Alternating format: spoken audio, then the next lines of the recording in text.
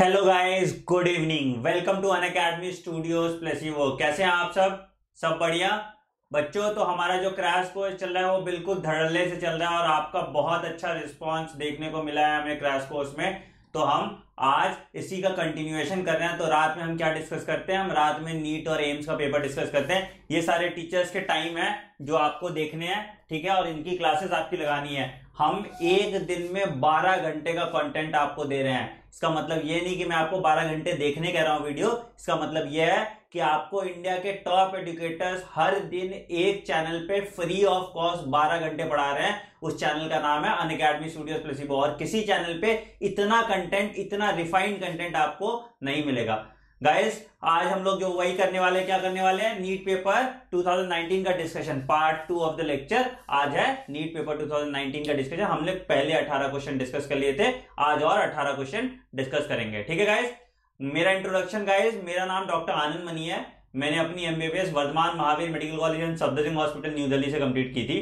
मेरी all India rank four one six थी और मैं तब से नीट और एम्स एस्पायरेंट्स को पढ़ा रहा हूँ। मैंने पिछले चार साल में इंडिया के टॉप प्रीमियर इंस्टीट्यूट में नीट और एम्स एस्पायरेंट्स को पढ़ाया है और बहुत अच्छे रिज़ल्ट दिए हैं। हम लोग इस ऑनलाइन प्लेटफॉर्म पे सिर्फ़ इसीलिए आए हैं ताकि हम इस रिज़ल्ट को और मल्टीप्लाई कर सकें राइट तो बच्चों, मैं आपको यहाँ पे दो घंटे रोज मिलता हूँ।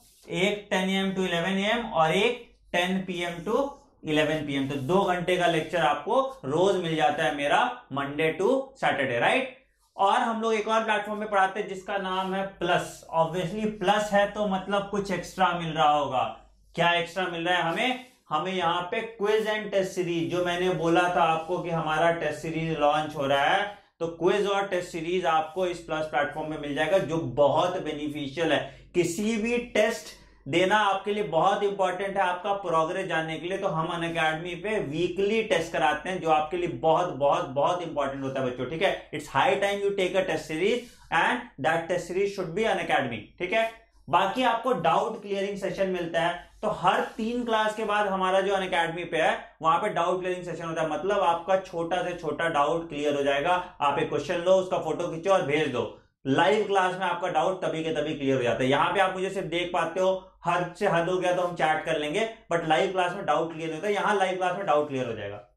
बाकी आपको लाइव क्लासेस तो मिलती है, जैसे अभी यहाँ पे क्लासेस मिल रही है, इससे वे बेटर प्लेटफॉर्म है, इससे ज़्यादा इंटरेक्टिव प्लेटफॉर्म है, जहाँ पे आप लाइव क्लासेस देख सकते हो, और आपको पर्सनलाइज लर्निंग मिलता है मतलब यहाँ आपको अपने टाइम के हिसाब से पढ़ना है। भाई, सुबह से रात तक वहाँ कोई ना कोई क्लास चलती रहती है। आपको 10 बजे पढ़ना है 11 बजे पढ़ना है 12 बजे पढ़ना है, जिस टीचर से पढ़ना है, हमारे पास टॉप थर्टी एडुकेटर्स है, जिनसे आपको पढ़ना है, आपकी मर्ज़ी। और ठीक है, ये हमारे सारे कोर्सेज चल रहे हैं। तो देखो, यहाँ पे सर का कोर्स चल रहा है, यहाँ पे मेरा कोर्स चल रहा है complete biology for droppers droppers के लिए मैं एक पूरा कंप्लीट बायोलॉजी का ईयर लॉन्ग कोर्स चला रहा हूँ। ऋतु मैम का जेनेटिक्स पे कोर्स चल रहा है। यहाँ पे अन अकेडमी नीट टीम की भी कोर्स चल रही है, जो राइस फ्रॉम ड्रॉपर्स है।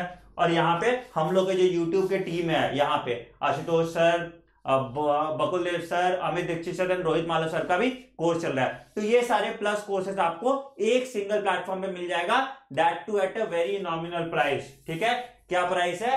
प्राइस है आपका वन ईयर प्लान का है, दो हज़ार रुपए महीने के हिसाब से।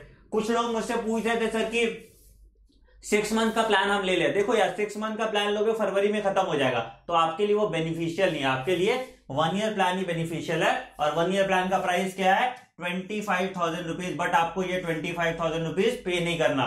क्या करना है आपको? यहाँ पे ये कूपन कोड यूज़ करना है आनंद टेन ठीक है? पहले आनंद लाइव यूज़ करते थे, अब Anand ten coupon code use करना है। और आप यहाँ पे जैसे अप्लाई करेंगे, क्या होगा? आपको आपको उससे टेन परसेंट का डिस्काउंट मिल जाएगा। इसलिए आनंद टेन यूज़ करेंगे और ये जो अमाउंट है, ये twenty two thousand five hundred rupees हो जाएगा। अगर आप टू ईयर कोर्स के लिए लेते हैं तो ये फोर्टी थाउज़ेंड से थर्टी सिक्स थाउज़ेंड रुपीज़ पे हो जाएगा। तो बच्चों, आप प्लस कोर्स के लिए ऑप्ट कर सकते हैं। आपके लिए बहुत बेनिफिशियल है, जहाँ पे आपको स्ट्रक्चर्ड कोर्स मिलेगा। तो चलो, आज का लेक्चर स्टार्ट करते हैं बच्चों। ठीक है? क्या है? कौन कौन आ गया? Diksha, Sachin, Deepti, Nitin, Sana S K Gola, Harshita, Teja, Yaduvanshi, Manish Yadav, Harshita, Alice Saksham, Puru Ranveer. बाबू, बॉटनी भी होगा, बॉटनी होगा, टेंशन मत लो, बॉटनी भी होगा। अंशुल, एलिना, चलो। आगे। तो पहला क्वेश्चन है बच्चों क्वेश्चन नंबर 19 से हम स्टार्ट कर रहे हैं। क्वेश्चन नंबर 18 तक हमने कर लिया था। क्या है? Exploitation of bio resources of a nation by multinational companies without authorisation from concern country मतलब किसी कंट्री का रिसोर्स था, उसको कोई दूसरा कंपनी अपने फ़ायदे के लिए इस्तेमाल कर रहा है तो उस फिनोमिना को हम क्या कहेंगे? क्या है आंसर बताओ बच्चों। आंसर सेकंड वाह, बहुत जल्दी आंसर आ गया आप लोग का।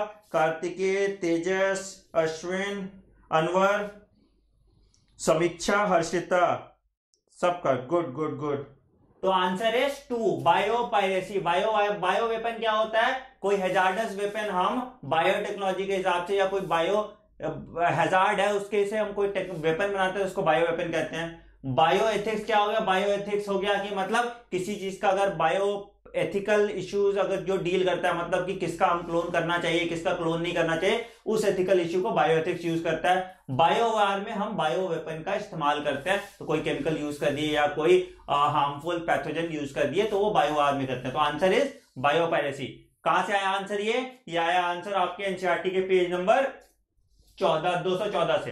क्या है?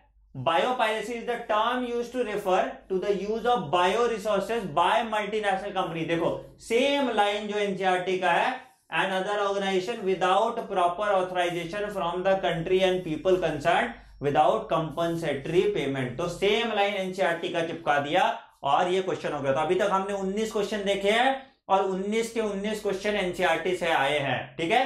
Page number 214 answer two right अगला क्वेश्चन क्या है? Carnivorous animals carnivorous animals lions and leopards occupy the same niche but lions predate mostly larger animals and leopard take smaller ones this mechanism of competition is this mechanism of competition is कौन सा mechanism है बच्चों ये?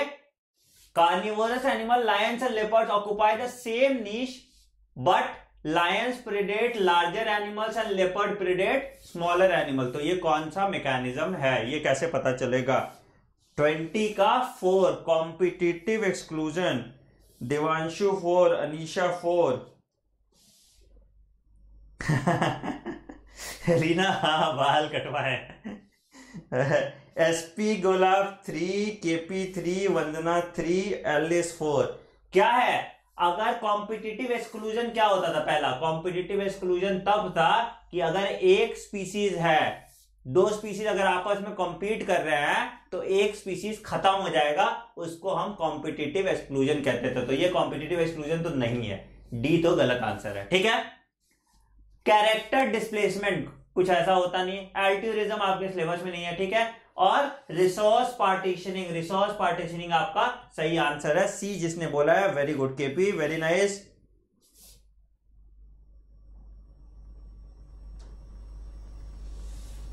ठीक है? तो answer is resource partitioning C is the correct answer कहाँ लिखा है भाई ऐसा? तो ऐसा लिखा है one such mechanism is resource partitioning if two species compete for same resource they could avoid competition by choosing for instance different times of feeding or different foraging patterns मतलब कुछ भी हम चेंज कर दें तो मेरा रिसोर्स पार्टीशनिंग हो जाता है तो लायन के केस का एग्जांपल नहीं दिया है बट कंटेंट एनसीआरटी का है पेज नंबर 235 राइट तो इसमें मेकार्थर वाला ये इंपॉर्टेंट लाइन है। ये मेकार्थर क्या कहा था? मेकार्थर इंट्रोड्यूस किया था five closely related species of warbler जो कोएग्जिस्ट करता था पेड़ पे। ठीक है? वॉबलर कोएग्जिस्ट करता था पेड़ पे और अपना अपना अपना अपना फ़ूड पैटर्न इनका अलग था। ठीक है? तो they lived on the same tree but they are able to avoid competition and coexist due to behavioural difference and their foraging activities तो behavioural difference of foraging activities से ये अपने आप को अलग करता था। हाँ मैकार्थर दिया था रिसोर्स पार्टीशनिंग का ऑन वॉबलर ठीक है? फाइव स्पीसीज ऑफ़ वॉबलर ठीक है? Page number two thirty five answer आपका थ्री है। राइट चलो, अगला question decline in the population of Indian native fish Indian native fish due to introduction of Clarias gariepinus in river Yamuna can be categorise as Clarias gariepinus in Yamuna can be categorise कोई बात नहीं, सनी। आगे हो। दे रहा है, दुरुस्त है। ठीक है? चलो, अगला।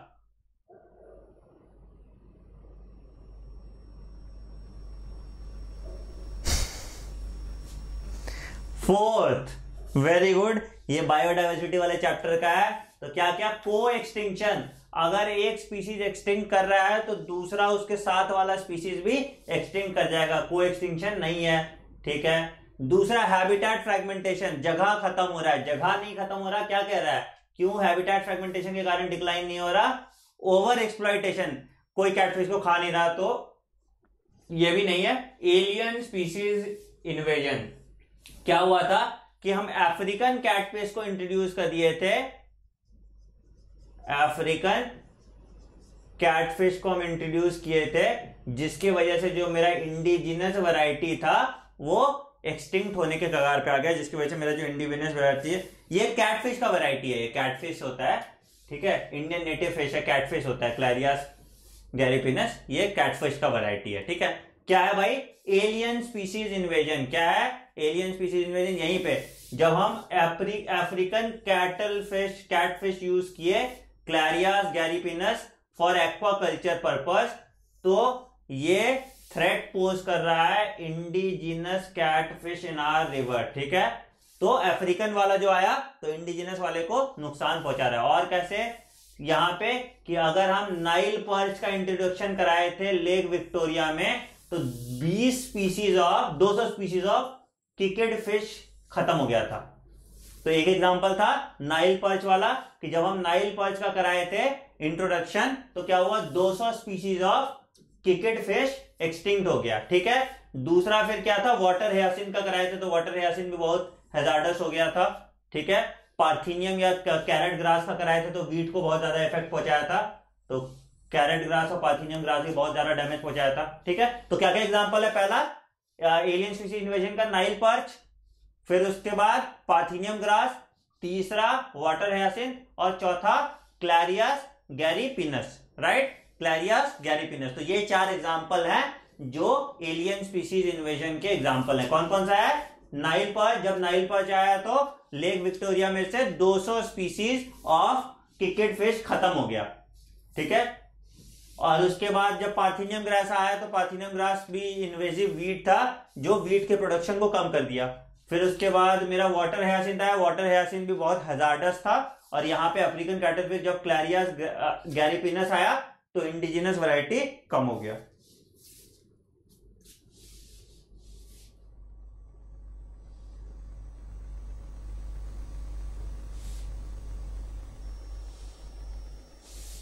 चलो। अगला।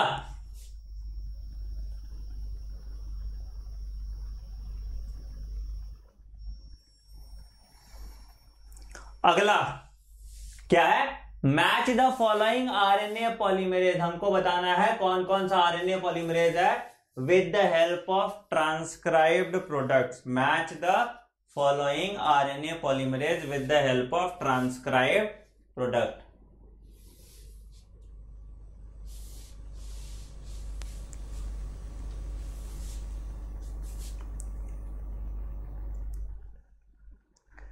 three RNA polymerase one करेगा आरआरएनए के लिए टू करेगा एच के लिए और थ्री करेगा। टीआरएनए के लिए इससे आसान क्वेश्चन कौन बनाएगा और कैसे बनाएगा, ठीक है? तो इम्पॉसिबल है। तो क्या है वन का टू टू का थ्री और थ्री का one answer is three right बच्चा वाला क्वेश्चन था। क्या एक्सप्लेनेशन दिया है भाई? एनसीआरटी माता क्या कहती है इसके ऊपर? एनसीआरटी माता पेज नंबर 111 पेज नंबर 111 में कहती है, क्या है? कि there are at least three RNA polymerases in the nucleus nucleus की बात कर रहे हैं तो हम किसकी बात कर रहे हैं? हम यू कैरियोट्स की बात कर रहे हैं। यू कैरियोट्स में तीन तरह का आरएनए पॉलीमरेज हो गया। In addition to the RNA polymerase found in the cell organelle तो सेल ऑर्गेनेल में अलग आर आरएनए पॉलीमरेज होगा न्यूक्लियस में अलग आरएनए पॉलीमरेज होगा अभी हम न्यूक्लियस वाले की बात कर रहे हैं, ठीक है?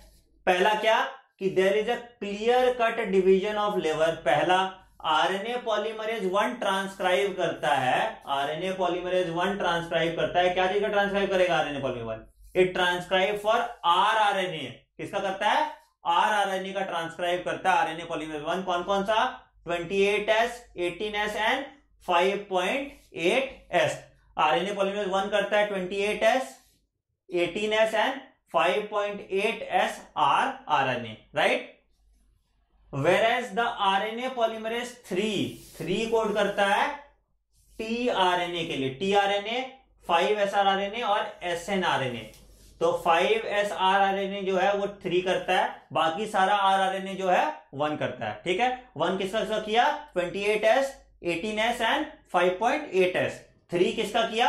फाइव एस और S N R N A और टी आर एन ए तो ये मेरा थ्री किया और टू कोड करता है H N R N A साफ़ साफ़ एनसीआरटी में दिया हुआ है। आंसर थ्री है। राइट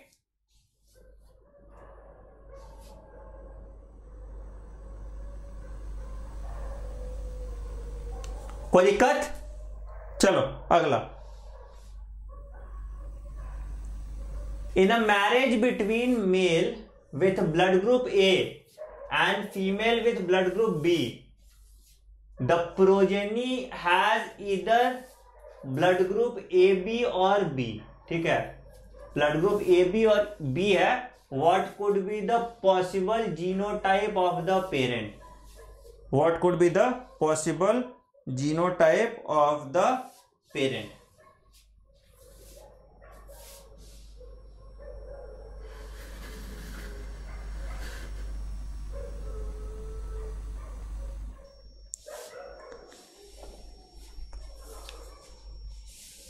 क्या है? A marriage between male and blood group A male a blood group and female blood group B है, ठीक है? तो ए और बी ब्लड ग्रुप है तो क्या क्या हो सकता है? या तो हो सकता है आई ए आई ए या तो हो सकता है I A I blood group इसका क्या है? बी बी का या तो हो सकता है आई बी आई बी और या तो हो सकता है आई बी आई ठीक है? ब्लड ग्रुप जो आ रहा है मेरा, वो या तो ए बी आ रहा है या तो बी आ रहा है। ए नहीं आ रहा। ए नहीं आ रहा मतलब कि कौन कौन सा हो सकता है? या तो ए बी आ रहा है या तो बी आ रहा है। ए नहीं आ रहा। कौन सा हो सकता है? पहला आई ए आई और आई बी आई बी करके देखें। तो करके देख लेते हैं पहला। पहला करके देखते हैं आता है कि नहीं। तो आई ए आई और आई बी आई बी तो क्या हो गया? A B A B B और बी तो ये दो ब्लड ग्रुप आ जाएगा राइट तो आंसर मेरा पहला सही है, ठीक है? क्या किया हम?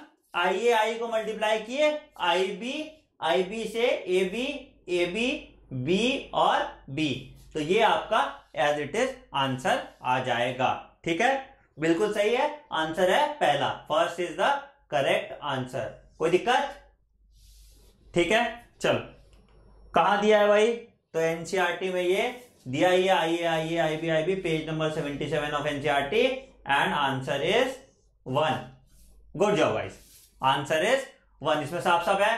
तो अगर होमो जाएगा से तो ए ए बी टी तो ये वाला मेरा शो करेगा को डोमिनेंस ये शो करेगा को डोमिनेंस ये वाला शो करेगा डोमिनेंस ये वाला शो करेगा डोमिनेंस ये वाला शो करेगा को डोमिनेंस डोमिनेंस डोमिनेंस डोमिनेंस ठीक है? तो ये शो करता है codominance dominance law of segregation और मल्टीपल अलीलिज्म लिख लेना। लॉ ऑफ़ सेग्रीगेशन और शो करता है ये मल्टीपल अलीलिज्म ठीक है? तो ये सारा चीज़ शो करता है। Law of dominance codominance segregation और मल्टीपल एलेलिज्म ठीक है? तो ये सारा चीज़ मेरा शो करेगा blood group human blood group system ABO blood group system अगला question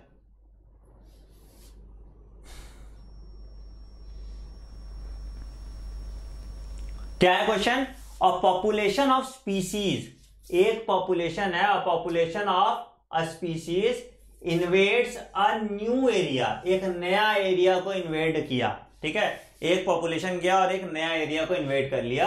Which of the following condition will lead to adaptive radiation किस केस में एडेप्टिव रेडिएशन होगा? किस केस में एडेप्टिव रेडिएशन होगा?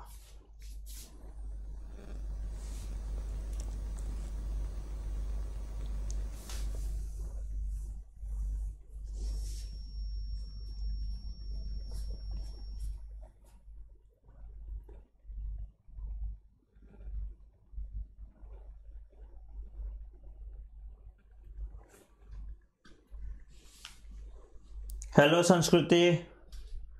किस केस में एडेप्टिव रेडिएशन होगा? बताओ आंसर बच्चों। Fourth area with habitats occupied by a large number of species area with habitat occupied by a large number of species कोई बात नहीं, कोई बात नहीं। चलो, क्या है?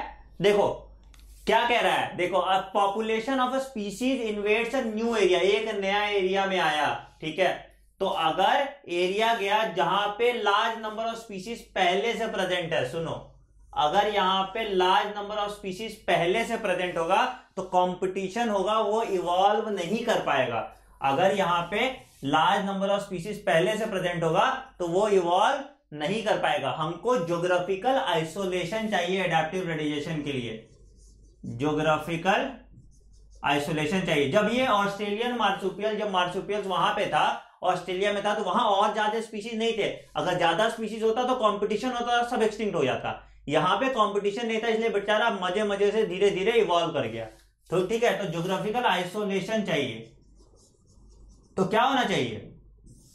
Area with many types of vacant habitat जहाँ खाली हो कंपटीशन नहीं होगा, तभी तो हम इवॉल्व करेंगे। तुम साइकिल चलाना सीखते हो, तुम थोड़ी है कि रोड पे जाके भिड़ा दोगे, पहले।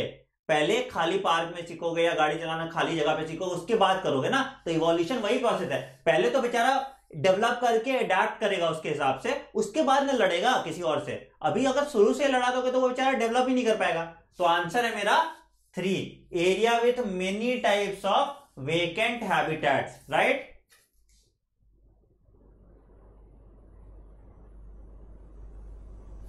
ठीक है? क्यों भाई? तो देखो देखो क्या बोल रहा है। सुनो, ध्यान से। क्या है?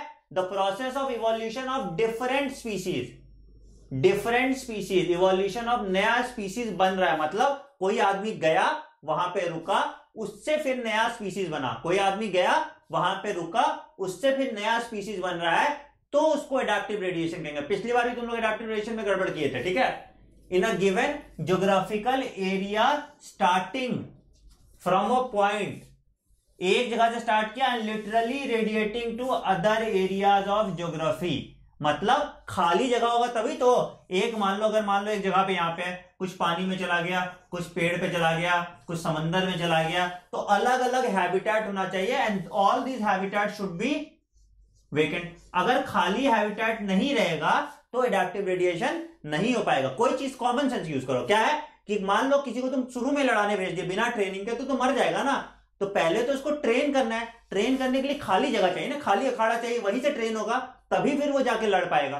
तो इसलिए answer is three page number 133 of NCERT अब समझ में आ रहा है? एनसीआरटी पढ़ना क्यों इंपॉर्टेंट है? लैंग्वेज देखो सेम लैंग्वेज एनसीआरटी का टेप देता है, ठीक है? तो इसलिए एनसीआरटी पढ़ना बहुत ज़रूरी है बच्चों। और एनसीआरटी का नोट्स भी मैं इसलिए रिकमेंड नहीं करता क्योंकि अगर नोट्स बना रहे हो एनसीआरटी का तो लैंग्वेज नहीं बदलना। लैंग्वेज एनसीआरटी का ही रहना चाहिए। लैंग्वेज में कोई चेंज करोगे तो फिर गड़बड़ हो जाएगा मामला, ठीक है? तो इसीलिए कोई स्टडी मटेरियल पढ़ना बेवकूफ़ी है। एनसीआरटी पढ़ो। जो एक्स्ट्रा कंटेंट है उसको एनसीआरटी में ही लिख लो, ठीक है? अगला question question number twenty five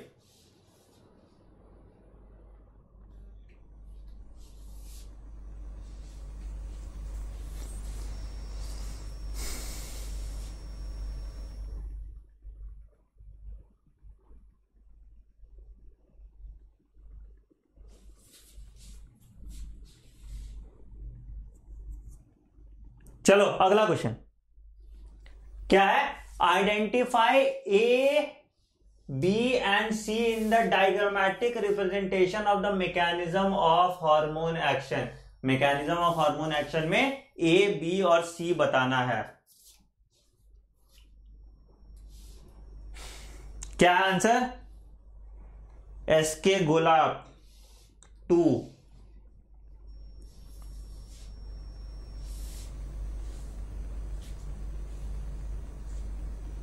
Alina four Arun second Alice three तो पहला तो है कि भाई, ये हार्मोन रिसेप्टर कॉम्प्लेक्स नहीं बना रहा, ये यहाँ पे यहीं पे बाइंड कर जा रहा है रिसेप्टर के साथ। तो पहला तो ये जो मेरा हार्मोन है, ये कौन सा है? ये प्रोटीन हार्मोन है, क्योंकि ये हाइड्रोफिलिक है और ये मेम्ब्रेन पास नहीं कर सकता। Can't cross the membrane. तो मेम्ब्रेन जो क्रॉस नहीं कर पाता, वो मेरा प्रोटीनेशियस है, और जो मेम्ब्रेन क्रॉस कर जाता है, वो मेरा स्टेरॉइडल है। तो ये तो प्रोटीन हो गया। बी मेरा है रिसेप्टर। बी मेरा है रिसेप्टर।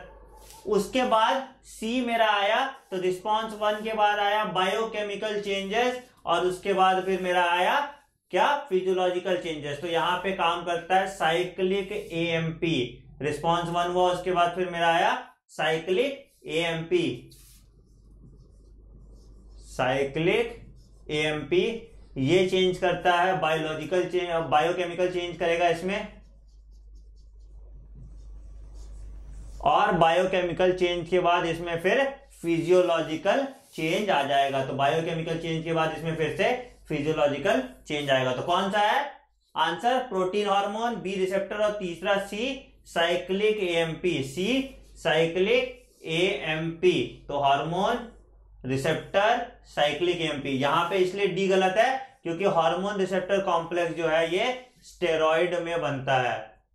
और यहाँ पे ये स्टेरॉइड है इसलिए ये गलत है, ये स्टेरॉइड है इसलिए ये गलत है तो डी भी गलत है, सी भी गलत है और ए भी गलत है। आंसर हो गया मेरा बी कहाँ से आया भाई ये डायग्राम तो ये डायग्राम एनसीआरटी का है। कैसे है? रिस्पॉन्स वन ये रिसेप्टर हार्मोन कौन सा हो गया? एफएसएच यानी कौन सा हार्मोन है एफएसएच एफएसएच मेरा प्रोटीन हार्मोन है। कहाँ ऐड कर रहा है? ओवेरियन सेल मेम्ब्रेन पे ऐड कर रहा है। साइक्लिक एमपी जो बताए थे साइक्लिक एमपी और कैल्शियम आयन यहाँ पे, फिर बायोकेमिकल चेंज हुआ और उससे फिजियोलॉजिकल चेंज हुआ।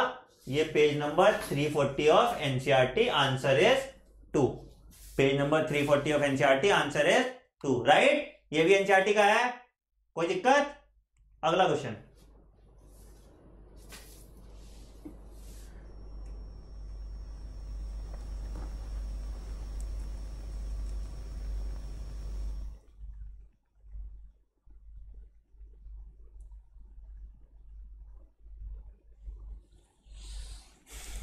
नेक्स्ट क्वेश्चन बच्चों. Human have acquired immune system have acquired immune system that provides antibodies to neutralise pathogen ठीक है? एक्वायर्ड इम्यूनिटी सिस्टम के पास एंटीबॉडीज होता है जो पैथोजन को न्यूट्रलाइज करता है। फिर भी innate immune system is present at the time of birth because क्यों इनेट इम्यून सिस्टम प्रेजेंट होता है? सी और वन आंसर दे रहे हो तुम लोग सब। शिवेंद्र सी हर्षिता सी सक्षम सी देवांशु सी सरफराज क्या है पता नहीं। देवांशु सी अनवर सी चलो, विनोद सी क्या है भाई?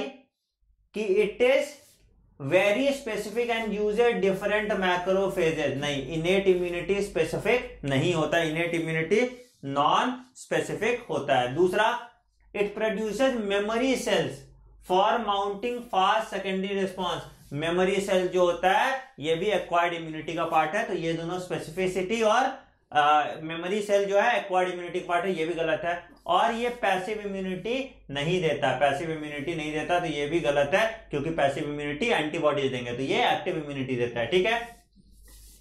Has natural killer cells NK cells कहते हैं which can phagocytose and destroy microbes ठीक है?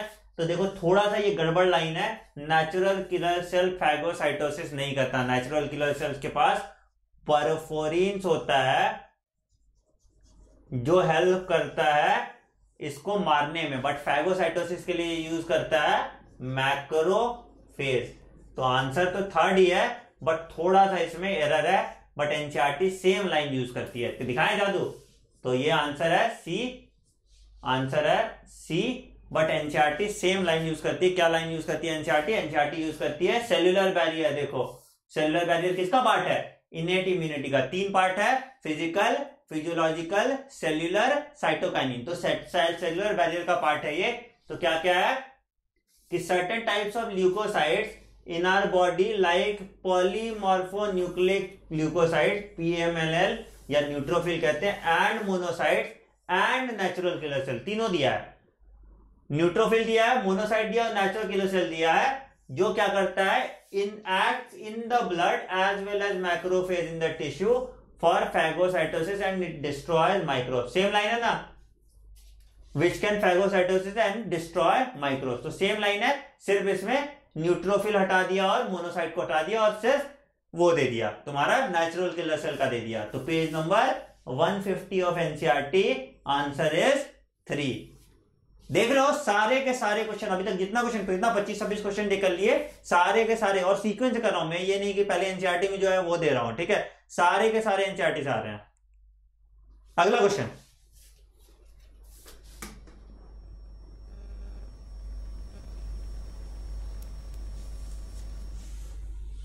हाँ जी लाइसिस करता है परफोरिन ब्रेकडाउन करता है। परफोरिन चाकू की तरह होता है, ठीक है? तो ऐसे फाड़ देगा, ठीक है? तो छेद करता है, पानी बढ़ता है, फाड़ देता है। छेद करता है, पानी बढ़ता है और फाड़ देता है। अगला क्वेश्चन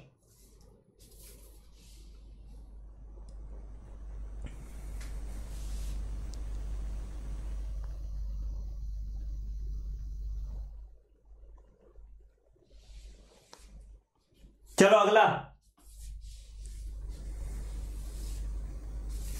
हर्षिता थ्री सक्षम फोर क्या है भाई? Which of the following statement is not correct not correct पूछ रहा है। पहला पहला पहला। क्या है? An action potential in an axon does not move backward because the segment is in refractory phase सही बात है। रिफ्रैक्टरी पीरियड होता था ना एक्शन पोटेंशियल में कि क्या होता था? कि अगर ये वाला रीजन डीपोलराइज है तो ये वाला फिर से रीपोलराइज हो जाएगा। ये डीपोलराइज रहेगा और ये पोलराइज रहेगा। तो ये वाला जो रीजन है रीपोलराइज हो जाता है तो बैकफ्लो ऑफ़ इंपल्स नहीं हो पाता तो ये स्टेटमेंट सही है, ठीक है? Depolarisation of hair cells of cochlea result in opening of the mechanically gated potassium ion channel बिल्कुल सत्य वचन, ठीक है? Opening of the mechanically gated potassium ion channel ये भी एनसीआरटी का लाइन है। मैकेनिज्म ऑफ़ हियरिंग में जाओ, वहाँ पे ये लाइन लिखा हुआ है। तीसरा rods are very sensitive and contribute to day light vision rods are very sensitive and they do not contribute to day light vision they continue to dim light vision या जिसको हम ट्विलाइट विजन भी कहते हैं। ठीक है, अभी हम देखेंगे, ठीक है? In knee jerk reflex stimulus is the stretching muscle and response is in contraction ठीक है? स्ट्रेच मसल काम करता है और रिस्पॉन्स होता है। कॉन्ट्रेक्शन में यह भी सही है। आंसर है मेरा C C is the correct answer क्यों? क्योंकि एनसीआरटी के पेज नंबर 324 में लिखा हुआ है।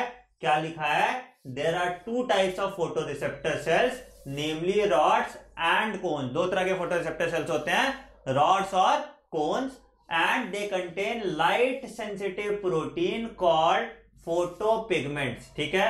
क्या क्या फ़ंक्शन है? डे लाइट के हम विजन को हम फोटोपिक विजन कहते हैं और ट्विलाइट के विजन को हम स्कोटोपिक विजन कहते हैं। Which is a function of rod तो रात वाला जो विजन है that is a function of rod और दिन वाला जो विजन है that is a function of cones तो यहाँ उल्टा लिखा था, इसलिए वो गलत हो गया। तो आंसर इज़ थ्री राइट ठीक है ना? ये भी एनसीआरटी का page number three twenty four अगला क्वेश्चन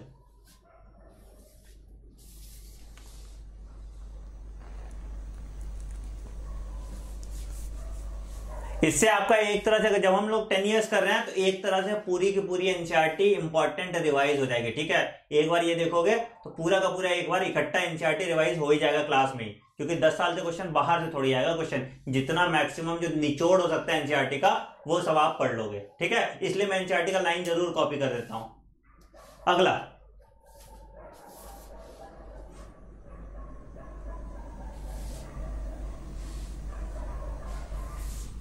पहला, सनी का पहला, अनवर पहला, एलिना दूसरा।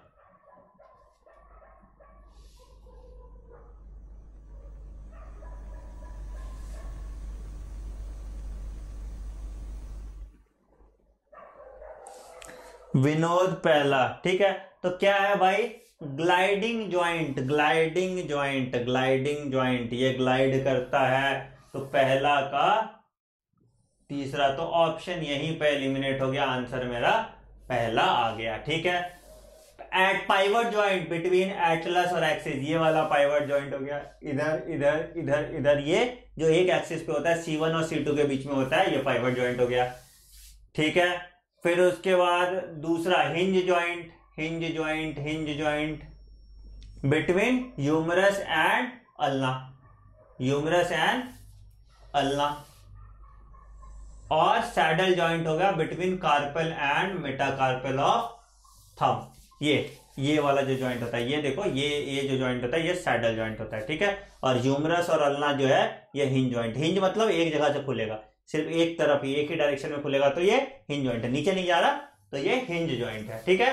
तो ये मेरा ज्वाइंट का आंसर है ए कोई दिक्कत किसी को आई थिंक नहीं होनी चाहिए इसमें आंसर ए है। इजी था क्वेश्चन क्यों भाई? कहाँ से आया है? तो ये आया है मेरा एनसीआरटी के पेज नंबर 312 से सारा ज्वाइंट एक जगह पे दिया है। पहला कौन सा है? सिनोवेल ज्वाइंट में बॉल एंड सॉकेट ज्वाइंट कहाँ कहाँ हो रहा है ball and socket joint humerus and pectoral girdle तो बॉल एंड सॉकेट में यूमरस और पेक्टोरल गर्डल में या फीमर और एसिटेबुलम हिंज ठीक है? फिर दूसरा है हिंज ज्वाइंट हिंज ज्वाइंट कहाँ हुआ? नी ज्वाइंट को हिंज ज्वाइंट बोल रहा है, ठीक है? नी ज्वाइंट और ये दोनों जो है। तो नी और एल्बो ज्वाइंट जो है, वो हिंज ज्वाइंट है, ठीक है? तीसरा आ गया pivot joint pivot joint is between atlas and axis तो एटलस और एक्सिस के बीच में पाइवट ज्वाइंट लिखा हुआ है। Gliding joint it is between the carpals ये भी लिखा हुआ है gliding joint is between carpals लिखा है ना? और saddle joint saddle joint is between carpal and metacarpal of thumb तो saddle joint is in between carpal and metacarpal of thumb NCERT page number 312 answer पहला। तो ये भी एनसीआरटी का ही क्वेश्चन था बच्चों। ठीक है? अगला question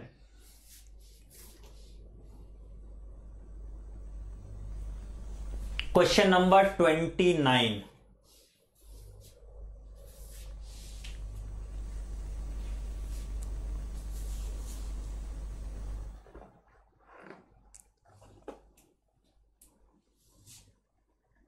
हाँ हाँ नी जॉइंट भी होगा और एल्बो सैडल ऐसे होता है। देखो, ये सैडल ये ये घूम रहा है ना, एक रीजन के क्रॉस घूम रहा है तो इसको सैडल कहते हैं। सीसो टाइप का।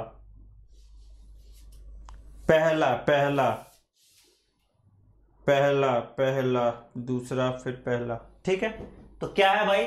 Which of the following is an autoimmune disorder ठीक है, ये सारा बोन का डिसऑर्डर है। गाउट में क्या होता है? यूरिक एसिड का एक्यूमुलेशन हो जाता है ज्वाइंट में, ठीक है?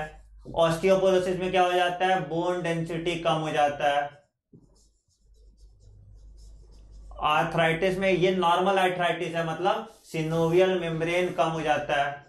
सिनोवियल फ्लूइड जो है, ये कम हो जाता है। और myasthenia gravis is the correct answer myasthenia gravis is an autoimmune disorder जहाँ पे ये एसिटाइल कोलिन रिसेप्टर पे खा देता है एट द न्यूरोमस्कुलर जंक्शन तो ये एक्ट करता है न्यूरो मस्कुलर जंक्शन पे, जहाँ पे कॉन्ट्रैक्शन ठीक से नहीं होता. तो ये ऐड करता है न्यूरोमस्कुलर जंक्शन पे, जहाँ पे कॉन्ट्रैक्शन सही से नहीं होता and it is an autoimmune disorder ठीक?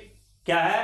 Myasthenia gravis it is an autoimmune disorder affecting neuromuscular junction leading to fatigue weakening and paralysis of skeletal muscle लिखा हुआ autoimmune disorder page number फिर से 312 answer one page number 312 answer one कोई दिक्कत?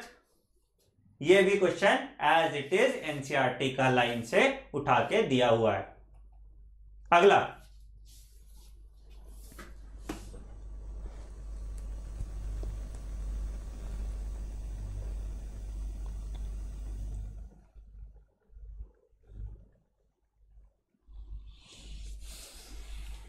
अगला।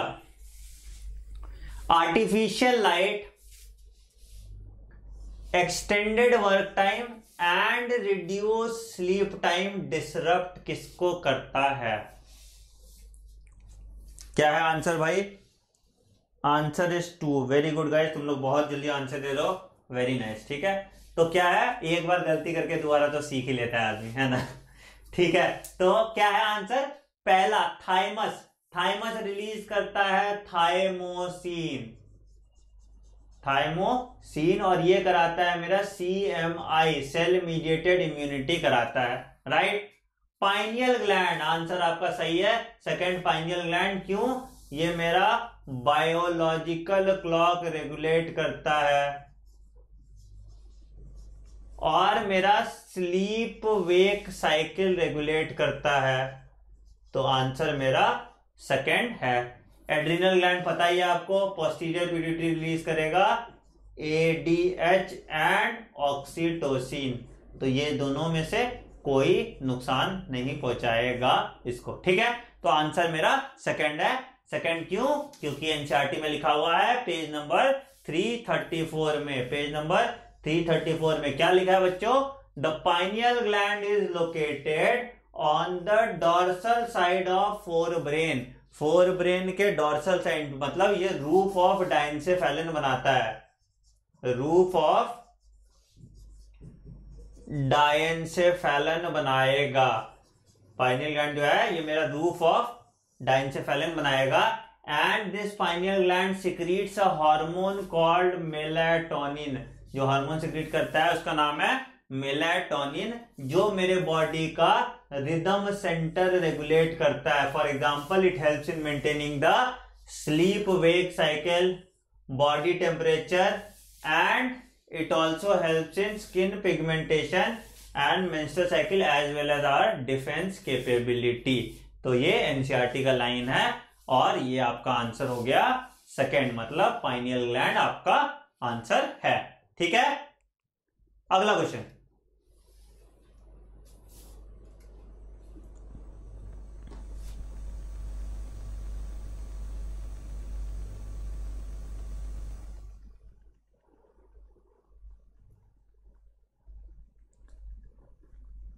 Flight syndrome syndrome नहीं है यार फ़्लाइट बीमारी थोड़ी होगा।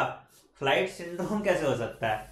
सिंड्रोम तब होता है अगर ग्रुप ऑफ़ बीमारी हो रहा है तो उसको सिंड्रोम कहते हैं, या बहुत सारा सिम्टम एक बीमारी का शो कर रहा है तो उसको हम सिंड्रोम कहते हैं।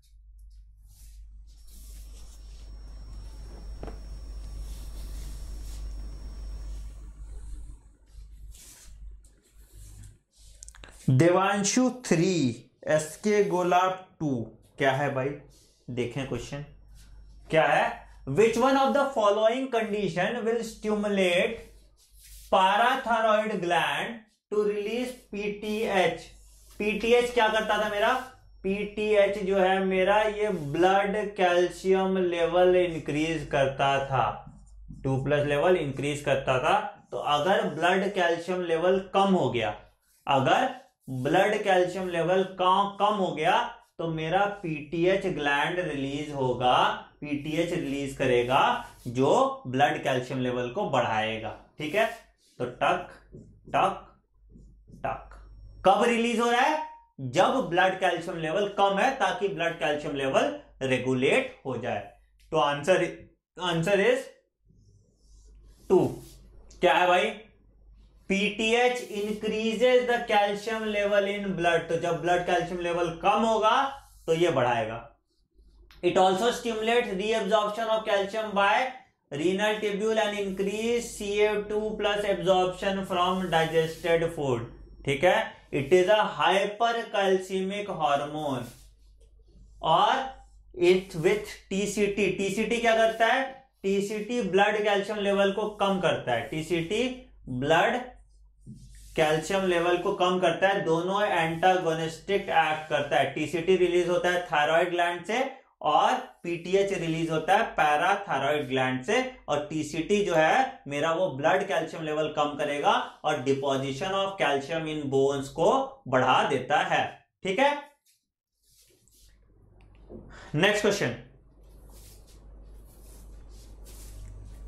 ये भी एनसीआरटी का था। अगला question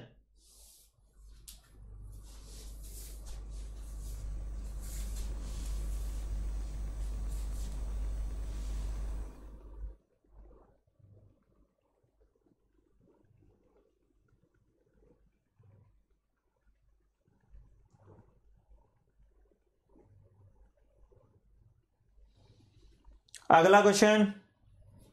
Shivendra C, Kartik C, Harshita C. हाँ पीटीएच कैल्सिट्रॉल के माध्यम से डी थ्री ओ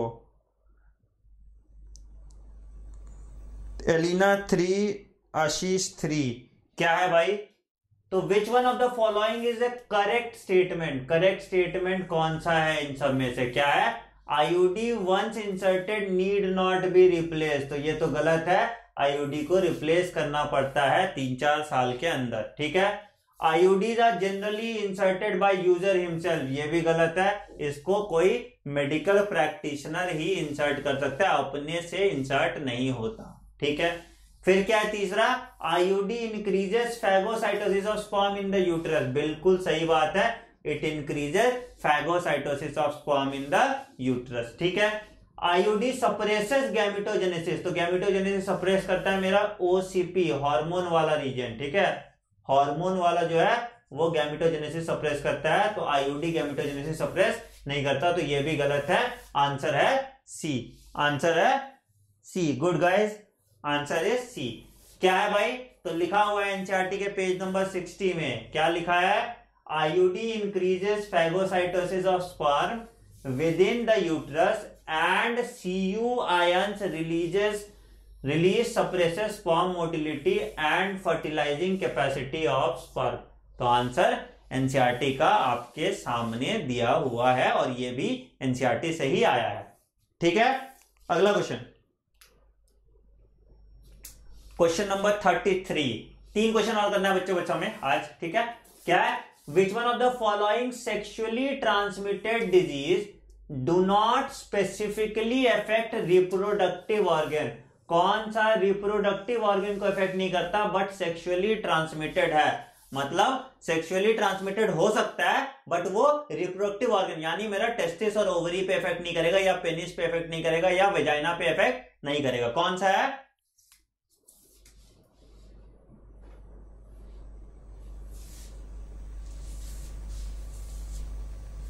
मेडिकल फ़ील्ड में कौन सा आईयूडी इंसर्ट करते हैं? कुछ भी कर दो कॉपर रिलीजिंग कर दो लिप्स कर दो, तुम्हारी मर्ज़ी है, इसमें क्या है?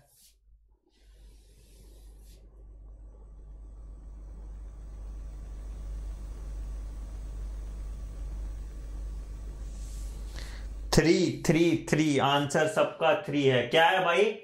पहला जेनिटल वॉर्ड्स इफ़ेक्ट करता है हेपेटाइटिस बी नहीं करता सिफिलिस इफ़ेक्ट करता है, हर्पीस करता है, एड्स नहीं करता, हेपेटाइटिस बी नहीं करता, क्लमीडिया करता है, एड्स नहीं करता। तो आंसर है मेरा सी एड्स और हेपेटाइटिस बी। हेप बी मेरा एक्ट करेगा लिवर पे और एड्स एक्ट करेगा मेरा पहले मैक्रोफेज पे और उसके बाद हेल्पर टी सेल पे। एड्स एक्ट करेगा पहले मैक्रोफेज पे और उसके बाद फिर ये ऐड करेगा हेल्पर टी सेल पे। ठीक है? तो आंसर है मेरा third right answer page number 63 में इसका आंसर दिया, ये मिट गया और लिख नहीं पाए तो ये दिया आंसर थर्ड है। सेक्सुअली ट्रांसमिटेड डिज़ीज़ वाला जो कॉलम है, वो पूरा कॉलम आ नहीं पाया, इसलिए उसको डाल नहीं पाया मैं। ये भी एनसीआरटी का कंटेंट है आंसर है आपका थर्ड अगला क्वेश्चन अब आते हैं एनिमल किंगडम एनिमल किंगडम खेलते हैं। एनिमल किंगडम एनिमल किंगडम खेलते हैं।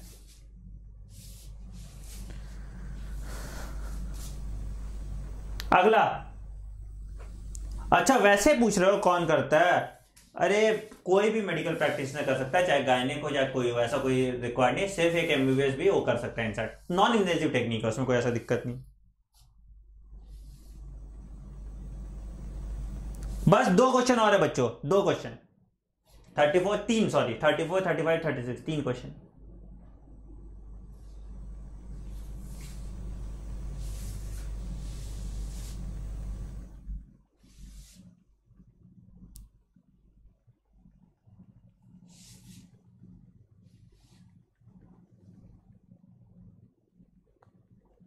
आंसर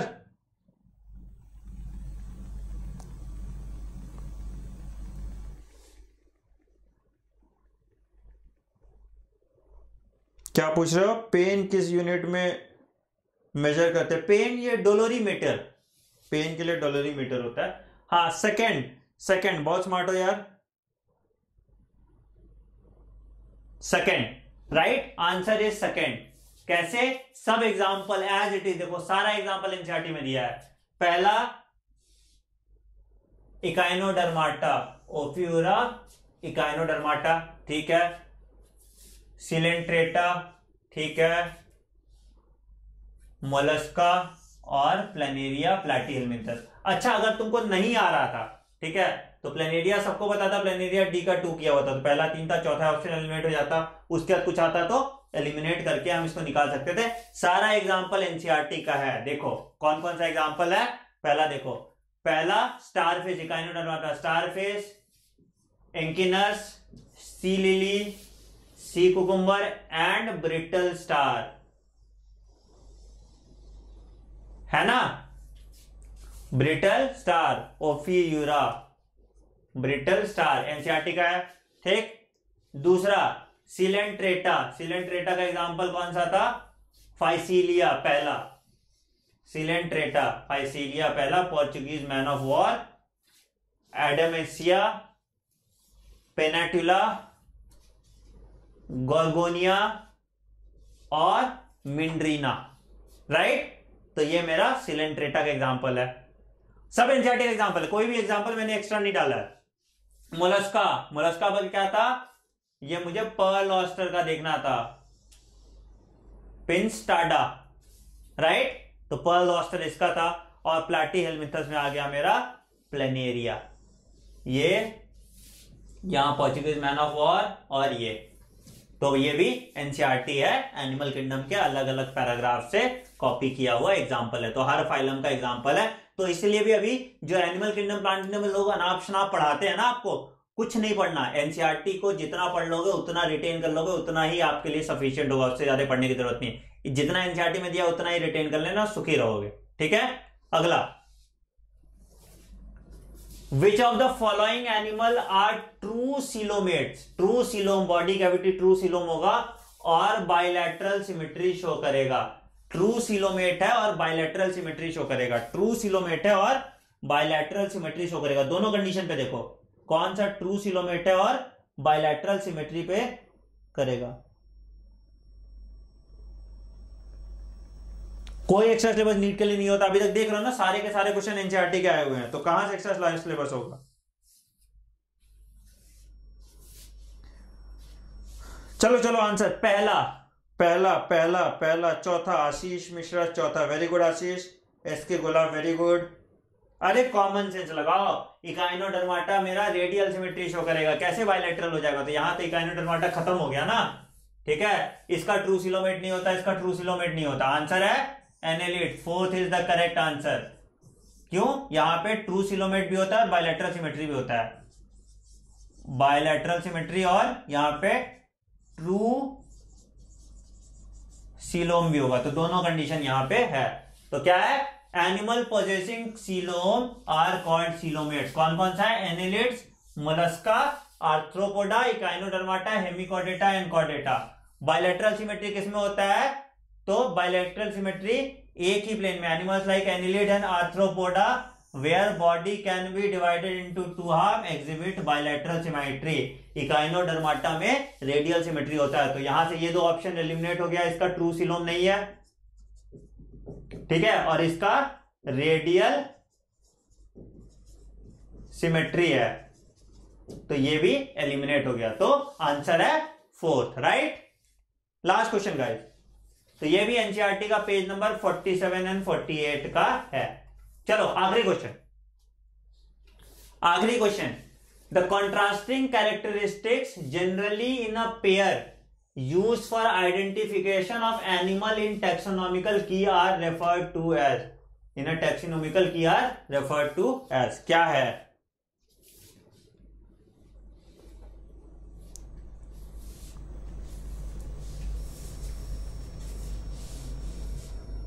नहीं एनेलिड्स का ट्रू सिलोम होता है। एनेलिड से ट्रू सिलोमा स्टार्ट हो जाता है, ठीक है? आर्थ्रोपोडा एनेलिडा इस सबका ट्रू सिलोम है। कुछ लोग टू कह रहे हैं, कुछ लोग वन कह रहे हैं। आंसर टू है। Couplet is the correct answer right couplet is the correct answer क्या है? क्यों है कपलेट आंसर तो क्या देखो, पढ़ो पढ़ो पढ़ो। क्या है? Key is another taxonomical aid for identification of plant and animal based on similarities and dissimilarities. The keys are based on the contrasting character. Contrasting character generally in a pair called couplet. यही यही, जो pair लेते हैं तो उसको हम couplet बोलते हैं तो keys are based on a contrasting character generally place in a pair called couplet और ये ऑपोजिट डायरेक्शन में रिप्रेजेंट करता है लीड क्या होता है this result in acceptance of only one and rejection of other E statement in the key is called a lead her statement lead होता है। हर स्टेटमेंट जो की में होगा टेक्सोनॉमिकल की में, उसको लीड करते हैं। बट जो कॉन्ट्रास्टिंग ट्रेट होता है, वो कपलेट होता है। तो आंसर मेरा टू है पेज नंबर थर्टीन तो आज हमने 18 क्वेश्चन और डिस्कस किया, और अभी तक हमने 36 क्वेश्चन डिस्कस कर लिए हैं, और 36 में 36 क्वेश्चन डायरेक्टली एनसीआरटी से आए हुए एक भी क्वेश्चन एनसीआरटी के बाहर नहीं है विथ प्रूफ मैंने दिखा दिया। ठीक है? बच्चों, कोई भी डाउट हो, कुछ समझ नहीं आ रहा हो तो कहाँ मैसेज करना है आपको पता है आपको मैसेज करना है Unacademy dot com slash user slash Anand sir zero one, यहाँ पे आप मुझे मैसेज करिए। कोई भी क्वेरी है आपकी, कुछ समझ नहीं आ रहा, क्या टॉपिक पढ़ना है, कोई छोटा वीडियो आपको चाहिए, कुछ कंटेंट समझ में नहीं आ रहा तो आप वहाँ पे मैसेज कीजिए, मैं वहाँ पे आपको आंसर करूँगा, ठीक है गाइस आई होप आपको ये वीडियो पसंद आया होगा बच्चों। आप इस वीडियो को लाइक कर दीजिएगा, अगर आपको पसंद आ रहा है और आपको हेल्पफुल लग रहा है, नहीं लग रहा तो भी लाइक कर देना, ठीक है? बाकी सब्सक्राइब कर देना इस चैनल को, ताकि आपको यहाँ पे क्वालिटी कंटेंट इसी तरह से मिलते रहे, हम लोग का प्रोत्साहन बना रहे, ठीक है? हम 12 घंटे की क्लास आपको एक दिन में दे रहे हैं। Can you imagine the amount of effort that we are putting through right तो इस चैनल को सब्सक्राइब कर देना और इस बेल आइकन को दबा देना। इस बेल आइकन को दबाने से बड़ी अच्छी से आवाज़ आएगी, घंटी बजेगा और आपको हर क्लास का नोटिफिकेशन मिलता रहेगा। ठीक है गाइज़ चलो फिर कल सुबह मिलते हैं। तब तक के लिए टेक केयर बाय बाय